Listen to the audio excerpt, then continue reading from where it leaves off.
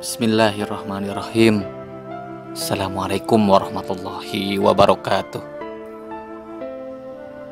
Sahabat beriman Seberapa besar cinta Anda kepada ibu? Apakah sebesar cintanya kepada Anda? Di dunia ini tidak ada hal yang mampu membayar kasih sayang seorang ibu kepada anaknya jadi sudah sepatutnya seorang anak menghormati dan mematuhi ibunya. Allah saja sampai bilang kalau surga itu ada di telapak kaki ibu. Yang maksudnya jika Anda suka menyakiti sosok ibu, mustahil Anda bisa masuk surga meski rajin beribadah. Sahabat beriman, Mungkin kisah percakapan antara Allah dengan bayi sebelum lahir ke dunia ini akan menginspirasi kita semua. Suatu ketika, seorang bayi bertanya kepada Allah sebelum dilahirkan ke dunia. Para malaikat mengatakan bahwa engkau akan mengirim aku ke dunia. Tapi bagaimana cara saya hidup di dunia? Saya begitu kecil dan lemah. Allah pun menjawab, Aku telah memilih satu malaikat untukmu. Ia akan selalu menjaga dan mengasihi kamu. Dan sang bayi pun bertanya lagi, Tapi di surga apa yang saya lakukan hanyalah bernyanyi dan tertawa. Ini cukup bagi saya untuk bahagia. Allah pun menjawab, malaikatmu akan bernyanyi dan tersenyum untukmu setiap hari.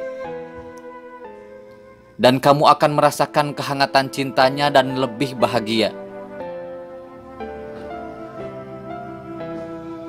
Bayi pun bertanya lagi, "Dan apa yang bisa aku lakukan jika ingin berbicara kepadamu?"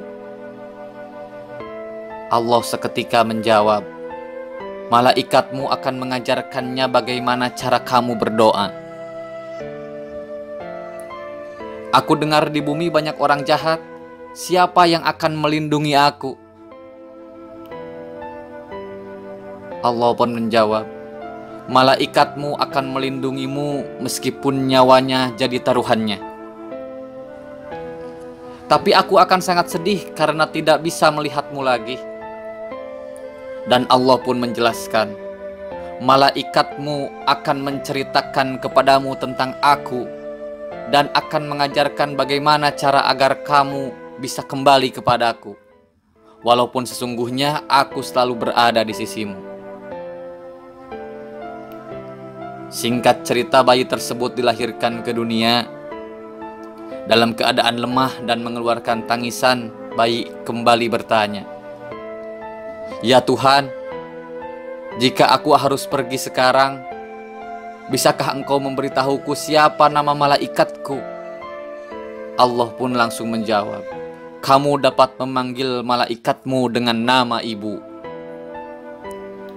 Sahabat beriman, sayangilah ibu sahabat yang telah melahirkan sahabat semua. Ibu akan selalu meneteskan air mata ketika sahabat pergi. Dia rela kedinginan agar sahabat merasa hangat. Ibu sahabat akan selalu berada di samping sahabat sambil mengusap lembut kepala sahabat. Dia akan menangis ketika melihat sahabat sakit. Sesekali jenguklah ibu sahabat yang sudah menunggunya pulang. Dia akan selalu menyebut nama sahabat lewat doa berbasuh air wudhu. Minta maaflah kepada ibu sahabat yang selalu menyebut nama sahabat dalam doa setiap malamnya.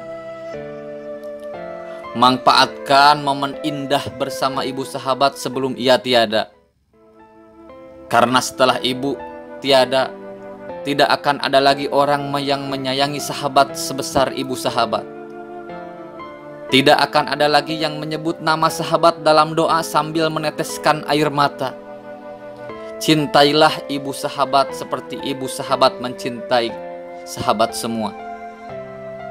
Jangan sekalipun sahabat menyakiti hatinya. Berbaktilah kepada ibu sahabat sampai akhir hayatnya.